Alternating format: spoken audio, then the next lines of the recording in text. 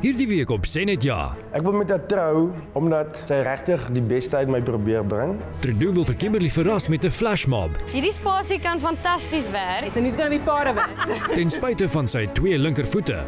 En ek is tog jou danspas is die ergste ding om oor te worry. Is alles reg. Die ring, jy sê jy het een. I want to know if it's okay if I marry a daughter. Maar wanneer hy die groot vraag vra, gaan sy ja sê. Senet Ja, donderdag om 8.